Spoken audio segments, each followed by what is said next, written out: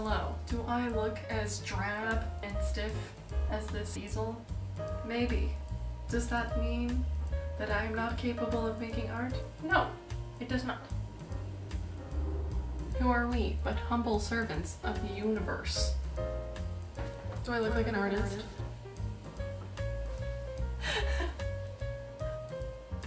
Why don't I put these guys on? That might help. Okay, now. I am here today to talk about painting, specifically abstract painting. So, in the name of this gloomy day and my gloomy outfit, we are going to create a lovely abstract painting for you today.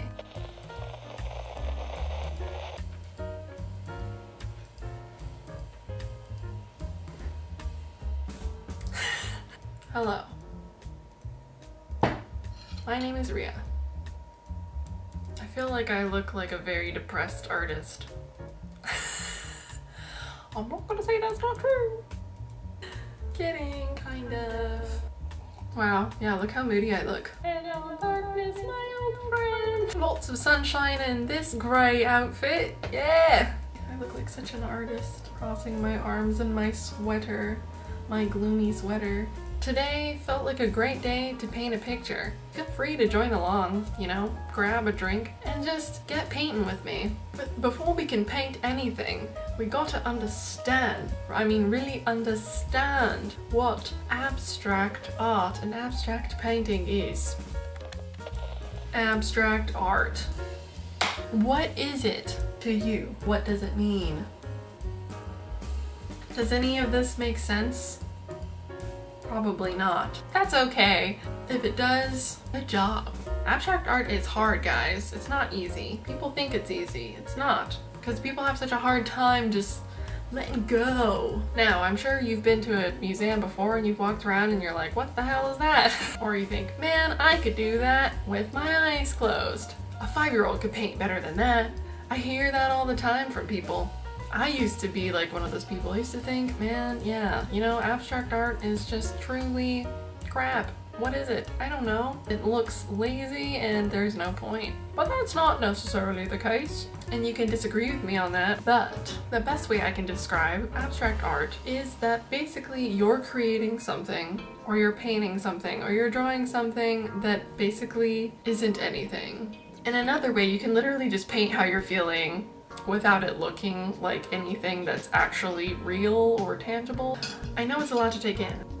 Have you ever painted an abstract painting before? I bet you have. I bet you did. When you were a tiny, tiny little tot, little tiny baby, little bean, little small human being. Every baby has made abstract art. If you ever made anything and drew anything, and you scribbled something, you made abstract art when you were a baby. But then once you started drawing circles and apples and people were teaching you and telling you to draw certain things, that's when you stopped being an abstract artist. My brother started a streaming channel, by the way, just in case you're interested. If you like games and you like watching people my brother is on Twitch. He just started Twitch, um, and he's really funny, and I think you'll like him. His name is V underscore E X P E R I E N Z E. So I have that right here. He plays RPG adventures and other kinds of games and whatnot. Great, love him, love my brother. So there you go. Please subscribe to him or follow him on Twitch. I want to do an abstract painting with you guys. We're not trying to make this something stressful. This is supposed to be a very calming, stress-free, judgment-free, abstract painting session. And you're welcome to join along with me and paint and do whatever you want, or you can just sit back and relax and watch me bumble through my abstract painting and see what I make. But I really like it now, so I think I'm gonna enjoy this and see how frustrating or not frustrating it is. And I'm not really sure because of, you know, my past with abstract art. Are you ready to paint? Are you ready? I'm gonna set up now, okay? Let's go. I'm so excited. I'm so excited. Okay, I'm gonna go get ready. We're gonna get started.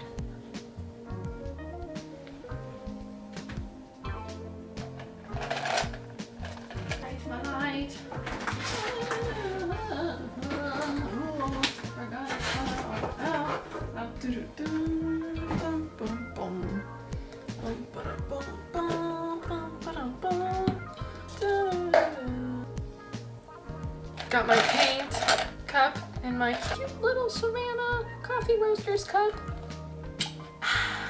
And then my cute little yellow cup.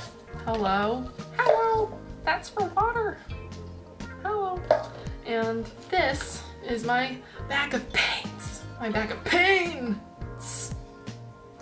Okay, anyways, we have our simple canvas and that is where we shall paint.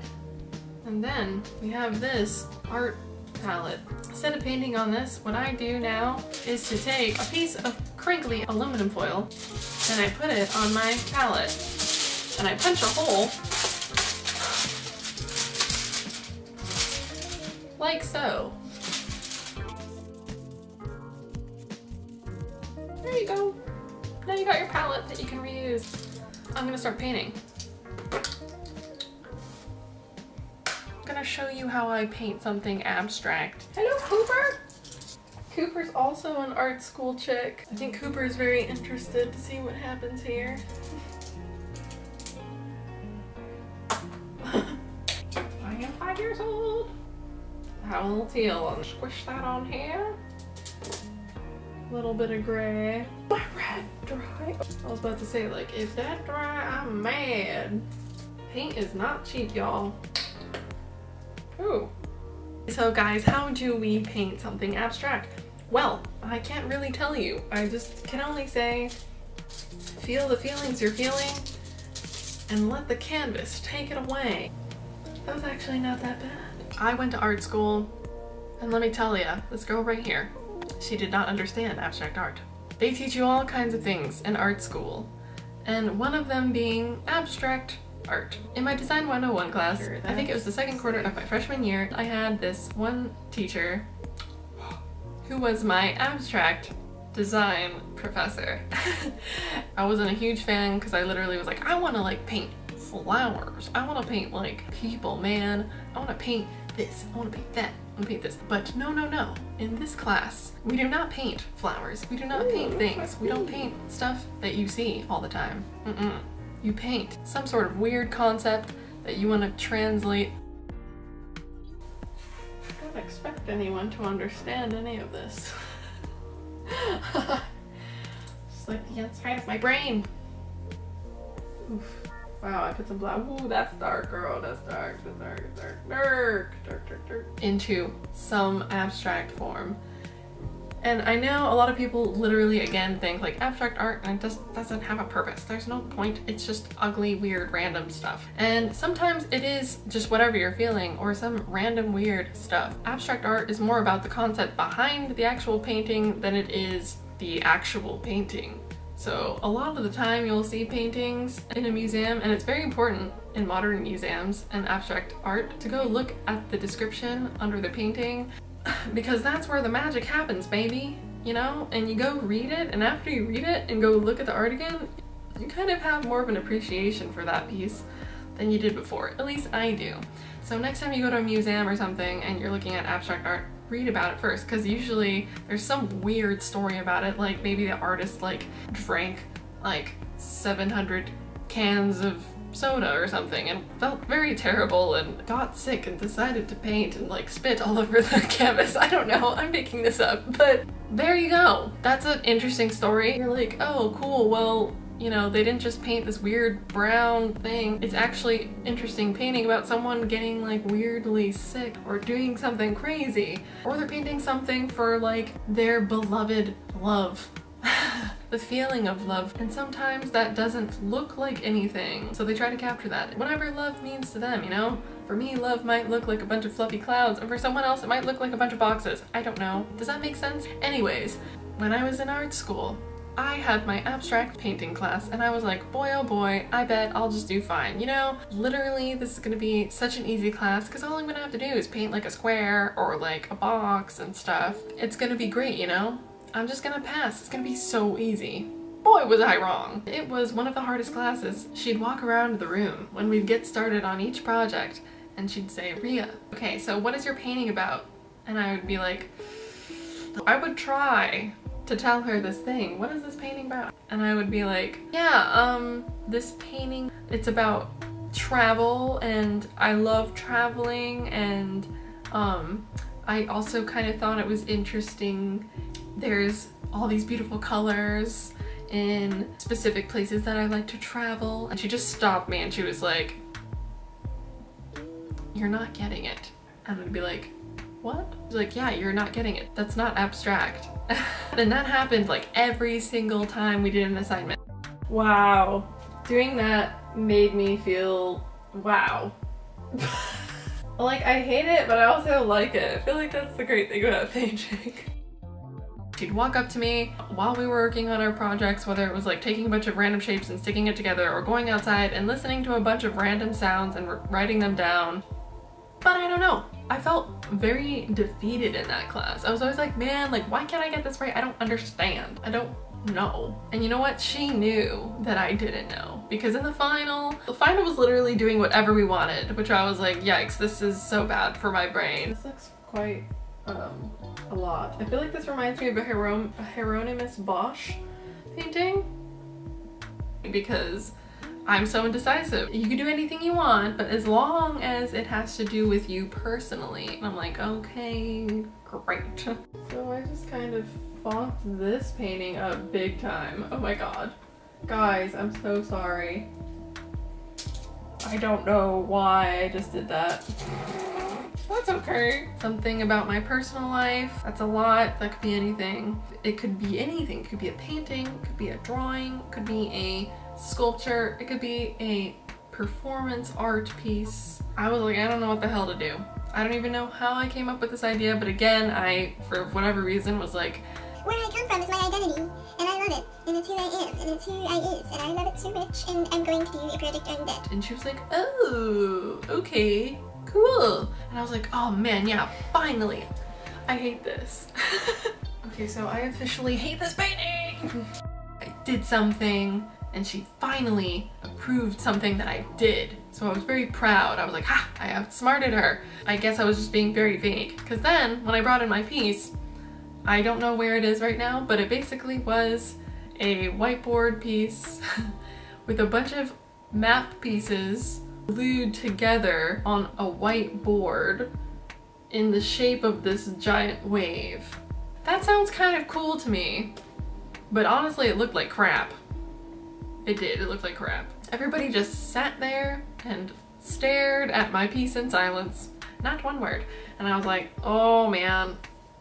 My teacher, she took me outside and I was like, not excited to talk to her. And she basically confronted me. And I was very upset. I don't know. I was so confused by abstract art. I really was at that time. I just, I didn't understand any of it. I didn't think there was a point, and I guess my brain literally could not compute. It exploded, and every time I tried making abstract art, it ended up not being abstract and always was something real. You know? Like, I made a wave. You're not supposed to make a wave. I guess. I don't know. It was weird. But anyway, she starts hounding me about my final. She's like, this is an abstract. It's very concrete. It's a wave, you know, blah, blah, blah. It's like this piece. It doesn't have any abstract. You know, all these other assignments were here to kind of prepare you to understand abstract art. You just don't get it. You don't get abstract art. You just make everything into something concrete. You obviously don't get it. You don't understand. You just don't.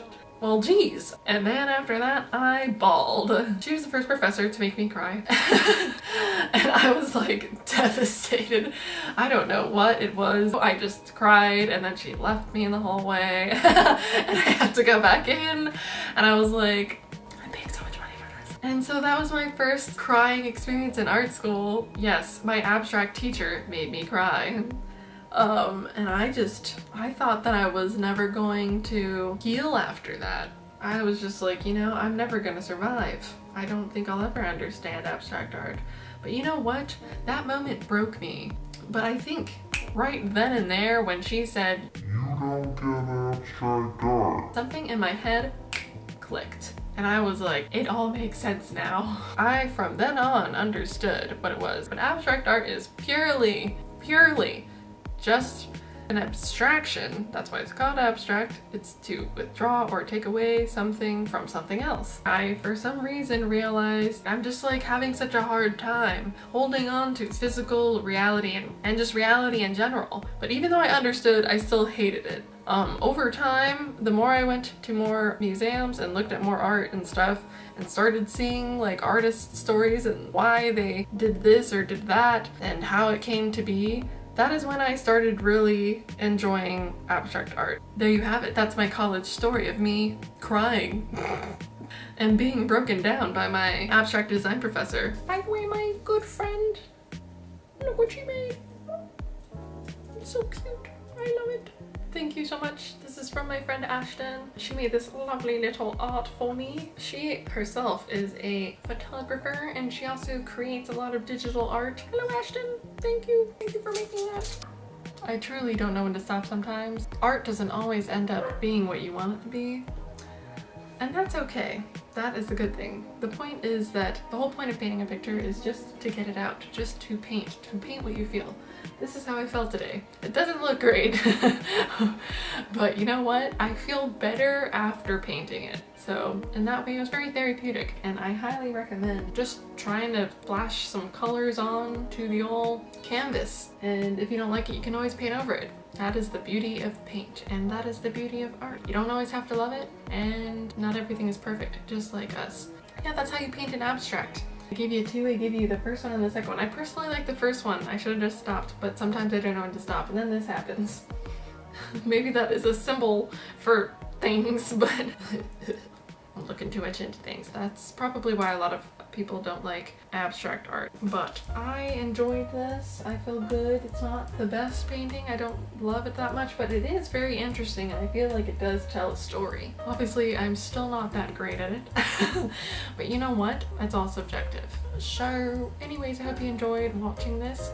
Um, I'm gonna do more painting videos and I'm excited to paint more with you guys. So if you did paint something and you want to share it, let me know or send it to me. Show me something you're proud of. I want to see some of my abstract artists, okay? Ria, art teacher over and out. Thanks for joining. Thanks for tuning in.